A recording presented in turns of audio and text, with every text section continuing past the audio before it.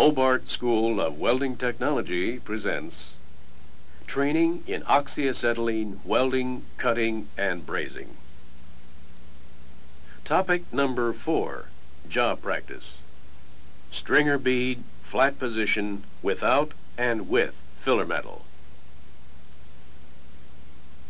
The objective of this practice is to be able to produce a weld bead on a plate in the flat position without and with the use of filler metal.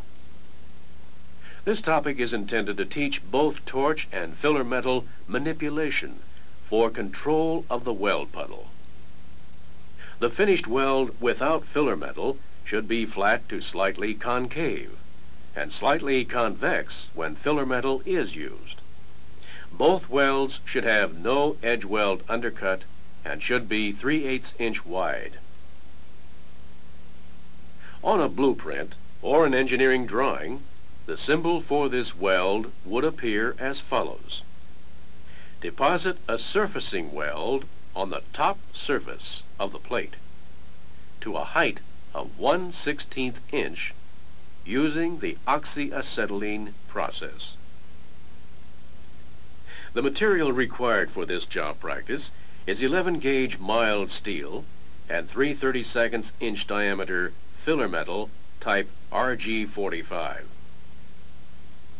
The equipment consists of an oxygen and acetylene supply and necessary equipment such as hoses and regulators, protective clothing, gloves, and goggles, a striker for lighting the torch, and a pair of pliers, a torch tip with an orifice size number 56, and a tip cleaner of the proper size also number 56.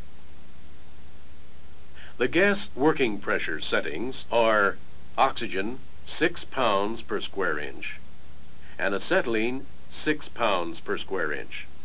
The flame is adjusted to a neutral setting. The workpiece for this practice consists of a single piece of 11 gauge mild steel plate placed on fire bricks in the flat position. For this and all other welds, pay close attention to the six essential factors for producing quality welds. Flame. Make sure you have the proper mixture of gases and valve adjustment for producing the desired flame type and size. Joint preparation. For whatever type of workpiece you weld, ensure that the base metal is clean and prepared properly and is in the correct position for welding. Torch angles. Maintain the recommended work and travel angles for the entire length of the weld. Travel speed. Travel at a rate that will produce the desired puddle width. Inner cone distance. Maintain the proper distance between the inner cone of the flame and the work for the full length of the weld. And filler rod addition. Ensure that the area where you add the metal is hot enough to melt the rod and that you add it to the correct portion of the puddle. All of these factors must be maintained consistently for the full length of all welds made with this process. It is helpful to practice moving the torch down the length of the plate without flame to be sure you can maintain correct distance, angles, and travel speed while arriving at a comfortable position. Right-handed welders move the torch from right to left. And left-handed welders move the torch from left to right.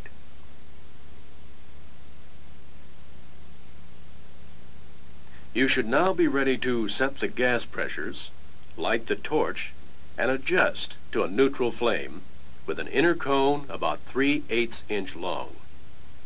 Position the inner cone at the end of the plate, approximately 1 8 inch from the surface. Adjust to a 90 degree work angle as viewed along the axis of the weld path so that the torch tip is perpendicular to the plate. Then lean the tip back to a 35 to 40 degree push travel angle, meaning that the tip is pointing in the direction of travel as if pushing the puddle along. Use a slight side-to-side motion to form the weld puddle, and then travel in a straight line, holding the correct torch angles and inner cone distance. Adjust your rate of travel to maintain a puddle about 3 eighths of an inch wide. Be careful not to move too slowly or set the flame too high, or you will melt completely through the metal. A narrow, uneven bead is the opposite case. The travel speed was too fast, or the flame was set too low. If the tip orifice is dirty or too hot, which happens if the flame is too close to the work, or held in one spot too long, the flame might pop or go out. Practice this weld for a while until you can produce a consistent, straight 3 8 inch weld for the entire length of the plate. Now, deposit the same weld with the use of filler metal. The torch angles, distance, and travel speed are the same as before. The filler metal rod is held over the weld line and angled 35 to 40 degrees upwards, the same as the torch angle, but in the opposite direction. Hold the end of the filler rod near the flame, about one quarter inch. As the puddle forms, begin dipping the end of the rod into the center of the puddle.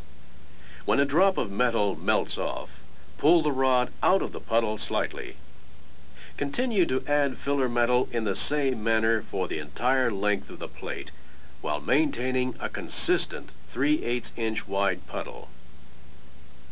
Not adding enough filler metal will cause the weld to be uneven and underfilled. Too much filler metal will make the weld oversized with overlap along the toes. With practice, however, you will be able to develop a steady rhythm that will produce a slightly convex, evenly rippled weld bead.